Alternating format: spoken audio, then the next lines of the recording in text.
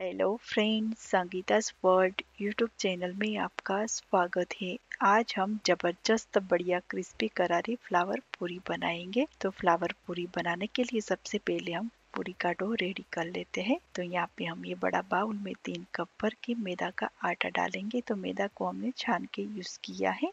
उसके बाद एक टेबल स्पून जितना नमक, एक टेबल स्पून जितना ब्लैक पेपर पाउडर आधा कप जितना तेल तो ये पूरी में तेल थोड़ा ज़्यादा डलता है। उसकी वजह से हमारी पूरी क्रिस्पी एंड करारी बनती है। तो तेल एंड आटा को हम अच्छे से मिक्स कर लेते हैं।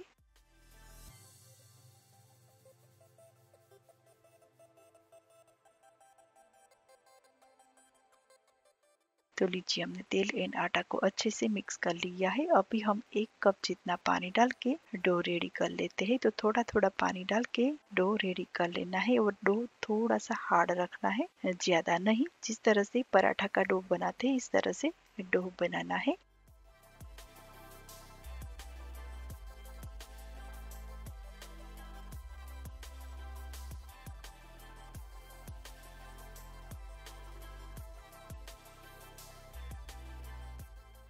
तो लीजिए हमारा पूरी के लिए डो रेडी हो चुका है। तो ये डो को हम 15 मिनट तक हम रेस्ट करने के लिए रख देते हैं। उसके बाद हम पूरी बनाएँगे।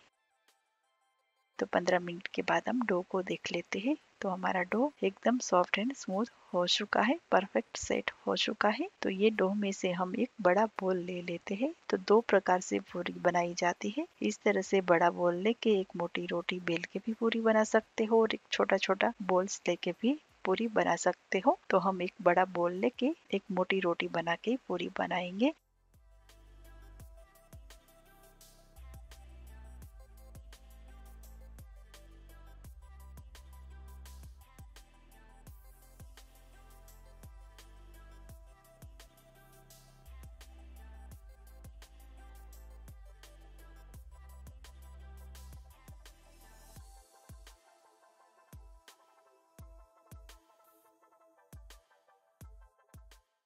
तो इस तरह से पतली एंड मोटी रोटी बना लेना है। तो फ्रेंड्स, ये फ्लावर पूरी बनाने के लिए मैंने अलग अलग तीन साइज़ का कुकी कटर लिया है। अगर आपके पास कुकी कटर नहीं है तो प्लास्टिक की बोतल का ढक्कन ले सकते हो। तीन अलग अलग साइज़ का ढक्कन लेना है और ये पूरी में लेयर वाली फ्लावर पूरी बनाने वाली हो। सिंगल फ्लावर पूरी भी बना सकते हो।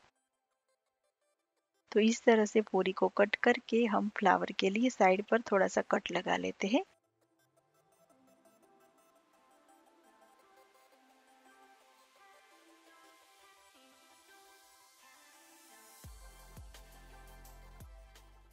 तो इस तरह से कट करने के बाद ये बॉर्डर पर हम इस तरह से कवर कर देंगे तो हमारा परफेक्ट फ्लावर बन जाएगा।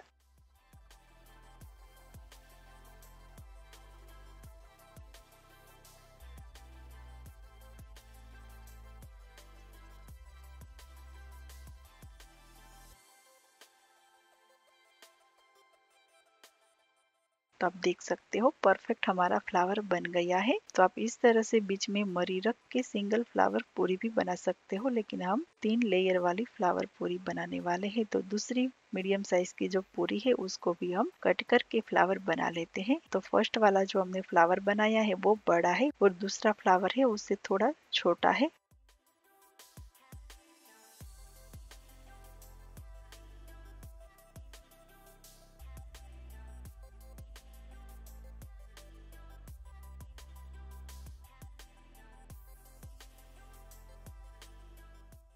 और तीसरा जो फ्लावर बनाने वाले हैं, वो उससे भी छोटा है। तो ये तीसरी पूरी से भी फ्लावर बना लेते हैं।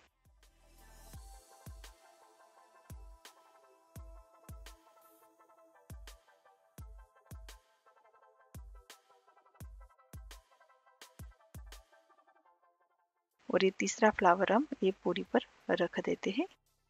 बन गया ना परफेक्ट फ्लावर तो ये तीनों पूरी को कवर करने के लिए बीच में हम मरी रखेंगे, ताकि फ्राई करते टाइम ये तीनों पूरी अलग ना हो जाए। तो इस तरह से मरी रख के अच्छे से मरी को दबा देना है, ताकि तीनों पूरी सेट हो जाए। तो लीजिए हमारा परफेक्ट फ्लावर बन गया है। तो इस तरह से दूसरी फ्लावर पूरी भी बना लेते हैं।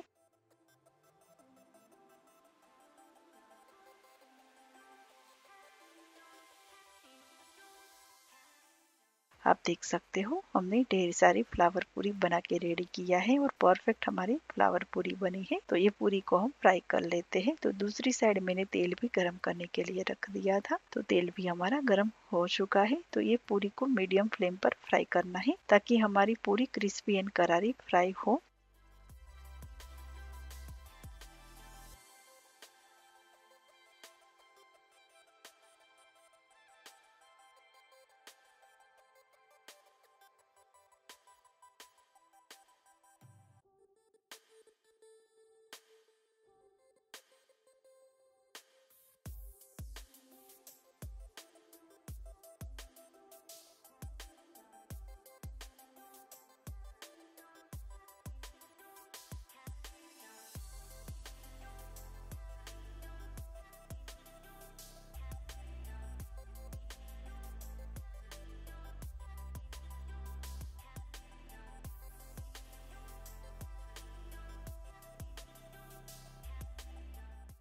तो लीजिए हमारी क्रिस्पी करारी पूरी हो गई है तो ये पूरी को हम निकाल देते हैं। तो फ्रेंड्स, ये फ्लावर पूरी बनाने में थोड़ा ज़्यादा टाइम लगेगा, लेकिन बच्चों को ये ज़रूर पसंद आएगा। अगर आपके पास टाइम है तो इस तरह से फ्लावर पूरी बना सकते हो। और इस तरह से हम दूसरी पूरी को भी फ्राई कर लेते हैं।